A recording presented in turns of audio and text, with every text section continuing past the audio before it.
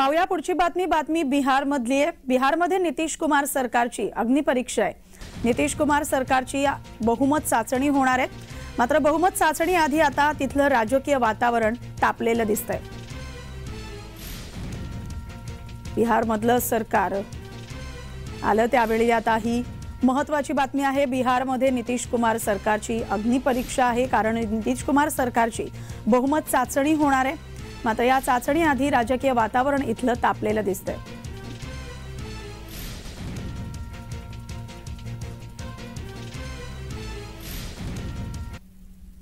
आमचे प्रतिनिधी शुभम उमाळे आपल्यासोबत जोडले गेलेत. आपण त्यांच्याकडून या संदर्भात अधिक माहिती जाणून घेऊया.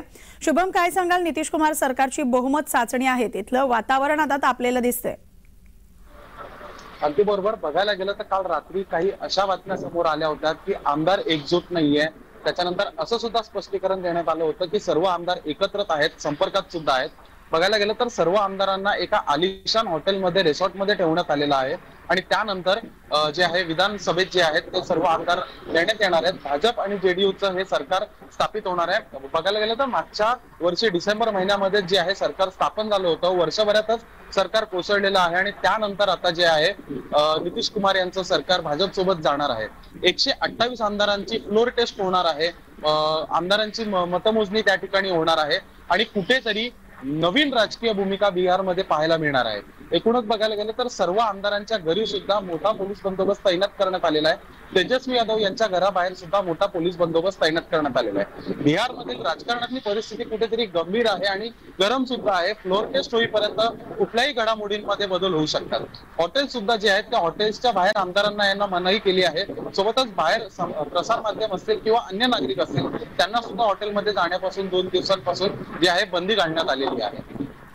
अगदी शुभम आता निवडणुका येऊ घाल्यात घातल्यात लोकसभा राज्यसभा या निवडणुका आहेत. बिहारमधलं राजकीय चित्र आता यापुढे कसं असणार आहे? कारण बहुमत चाचणी तर होणार आहे मात्र निवडणुकांच्या पार्श्वभूमीवर लवकरात लवकर तिकडचं चित्र सुधारलं पाहिजे अशीही आता शक्यता वर्तवली जाते. बरोबर आहे. बघायला गेलं तर भाजपचं सरकार जे आहे ते तिथे स्थापन होणार आहे हे बोलण्यात काही हरकत नाही. आणि सोबतच ज्या प्रकारे भाजपने देशाला समोर नेलेलं आहे त्याचनुसार बिहारला सुद्धा समोर नेणार आहेत.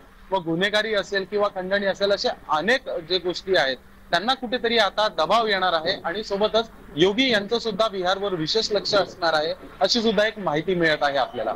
येणाऱ्या लोकसभा लोकसभा निवडणुका ज्या होणार आहेत त्या पार्श्वभूमीवर ही घडामोड बिहार मधली सर्वात मोठी आणि महत्वाची मानली जाते. अगदी. शुभम धन्यवाद तुम्ही दिलेल्या एकूणच या सविस्तर माहितीसाठी. तर बिहारमध्ये नितीश कुमार सरकारची आता अग्निपरीक्षा आहे कारण बहुमत चाचणी होणार आहे. या बहुमत चाचणी आधीच इथलं राजकीय वातावरण सध्या तापलेलं पाहायला मिळतंय.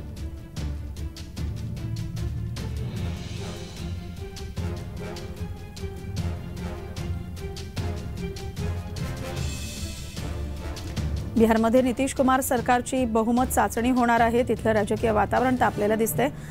आगामी निवडणुकांच्या पार्श्वभूमीवर लवकरात लवकर बिहारचं चित्र हे स्पष्ट होण्याची गरज आहे कारण आता बहुमत चाचणीत नेमकं काय होणार आहे याकडे सगळ्यांचं लक्ष असणार आहे.